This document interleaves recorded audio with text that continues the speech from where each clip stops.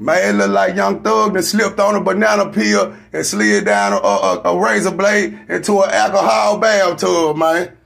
I'm here to talk about this district attorney lady, man, that he got on his case, man, and her quest for blood, man. This lady dead serious, man. I hate this shit for Thug. I hate this shit for his camp. But, man, it's some real shit going on with this situation, man. You know what I'm saying? The lady name Fani T. Willis. She was born October 27, 1971 in Los Angeles, California. You got uh, she went to Harvard University, and uh, where she graduated and got her law degree at Emory University. She was a top class student, you know what I'm saying, through all her, her years, you know what I'm saying? Maybe she didn't like that gang culture in Los Angeles. Maybe that blew, brewed a fire in this lady or something, man. Cause this lady here, she dead serious, man. Listen to the rest of my video, people. She the first woman to hold the title of DA in Fulton County. So right there, man, you know she got a point to prove. You know how them women is when they get in them certain positions, man. They feel like they got to show the men that they can do the job. They got to show the men they can be tough. They got to show that, that realm of, of living, you know what I'm saying, that they can be just as stern as the men. Cause you know they always have these conversations saying the women can't be president because of their emotions and all this. But Man, this lady right here, she trying to make her bones on this one, baby. Y'all better pay attention to it, man. She spent 16 years prosecuting in Fulton County District Attorney's Office before, you know what I'm saying, becoming a, a, a DA. You know what I'm saying? So that means she studied her peers, she studied her bosses, she studied the people around her, and, and she was on a quest to get somewhere. Check this out, my guys.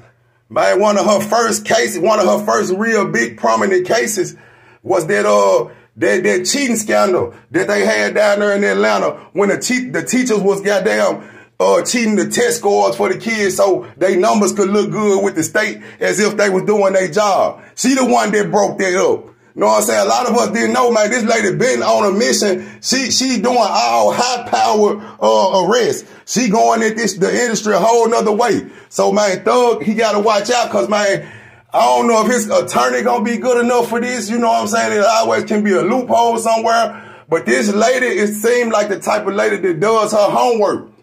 Man, this lady broke up the, the, the, Atlanta school system scandal. She the lady when it hit the news everywhere, wherever you may be, my people. I know it touched down in Memphis, so I'm pretty sure everybody else news caught wind of this. But this is the lady that was, uh, what there was the charge that led the charge in this situation. Yeah, then she ran, uh, she started a private practice in 2018. In the same year, she ran for a seat on Fulton County Superior Court and she lost. But know what I'm saying? That didn't stop her. She was still determined. Goddamn. In 2020, she was elected district attorney of Fulton County. So she finally got what she had been working toward, my people. This woman scratching, she trying to get somewhere with this, man. You know what I'm saying? Another case that the woman also went in before all this even happened that we maybe don't even know, but it was news that came to us. She also led the charge when Donald Trump and them got tied in with them phone calls in the Georgia election she called that call to get involved in it. This woman don't care your stature. She don't care how big you are.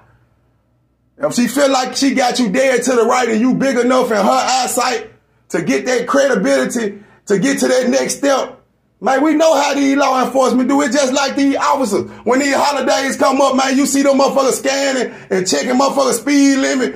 You know what I'm saying? You places you knew you weren't seeing an officer before. Them motherfuckers checking speed limit, scanning everything. Cause they know when they do all that, it's gonna take them to that next level. When they get so many arrests, it's gonna take them from um, just that street officer to that detective. It's gonna take them from that detective next to that lieutenant. You know what I'm saying? That's just how this go, man. They they are they objective.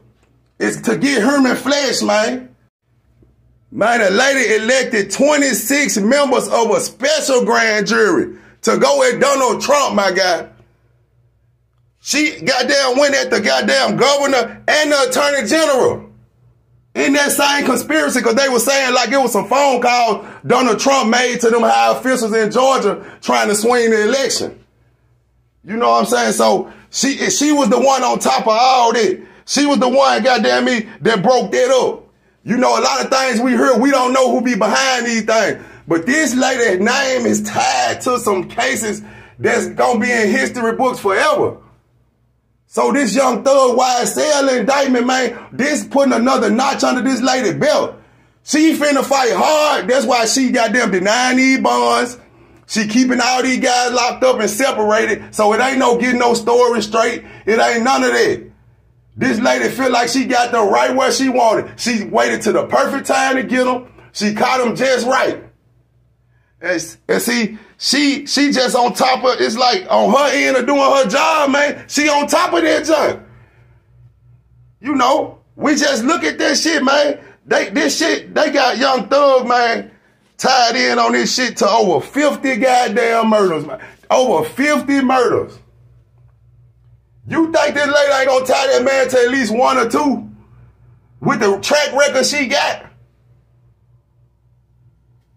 And keep in mind, my people, I want these people to get out, but I want them to get out, man, be productive, man. Cause anybody that's tied to some shit that's killing 50 people, man, you know, I don't know what to say right there now. We gotta all keep it real, man, cause if there was goddamn one or two of your family members, man, you would want them four dead. Cause we ain't wishing jail on nobody at all. But you gotta realize, man, the effects this shit have on everybody, everything. But back to the situation with this lady, man. She got that man ass she got she arrested him. They caught him with some more goddamn drugs. And then on the on the RICO charge, it's murder, robbery, and theft included on this charge.